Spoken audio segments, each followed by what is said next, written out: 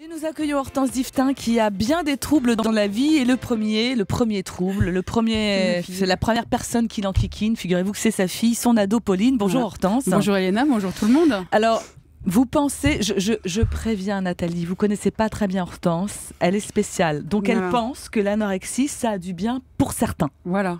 bah oui, parce que moi, quand je regarde ma fille Pauline, je suis démoralisée. Je trouve que ma fille est un peu grosse, oui. voire un peu trop grosse. Oui. C'est dommage, hein, parce qu'elle a plutôt un, un joli visage. On oui. dit qu'elle me ressemble oui, d'ailleurs. Bon, enfin, pour le reste, hein, mieux vaut l'avoir en photo qu'en pension. Qu'est-ce qu'elle boulotte C'est un puits sans fond. Elle a même, et elle a même créé sur Facebook un groupe le groupe de moi personnellement j'ai toujours faim. Ah. Elle pourrait rajouter moi personnellement j'ai toujours faim et pourtant je bouffe tout le temps.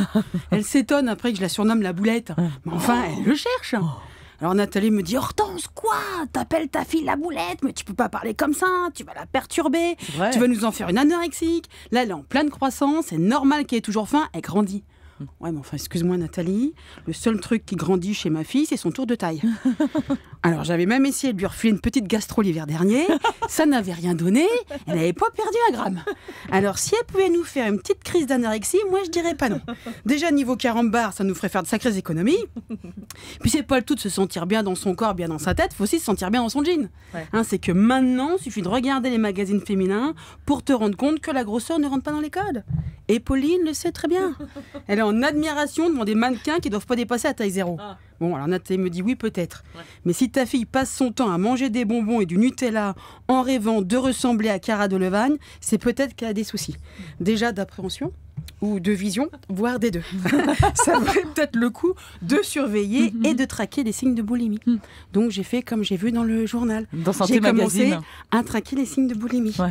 Bon, peux vous dire que donc j'ai fouillé dans ses poches et dans son sac, j'ai trouvé des paquets de bonbons, mmh. mais Nathalie me dit et le magazine me dit que ça ne suffit pas. Ah. Ah. Il faut que j'aille aux toilettes après Pauline. Ah. Je dis pourquoi? Je veux passer derrière les toilettes après. Pourquoi faire? Elle me dit pour sentir. J'ai dit à part euh, décédé d'asphyxie, je vais sentir quoi? Elle me dit il faut que tu regardes ça ne sent pas le vomi. Je dis. c'est vrai que c'est écrit dans Santé Magazine. Je dis quand même, faut les aimer ces enfants. Ouais. Donc moi, tout compte fait, je trouve que les rondeurs de ma fille lui vont très bien. Un peu comme celles de sa mère finalement. Non. si je peux me permettre, appelez votre fille euh, ma boulette, faut arrêter Hortense. Hein. Les experts vont venir cherche. dessus. Alors...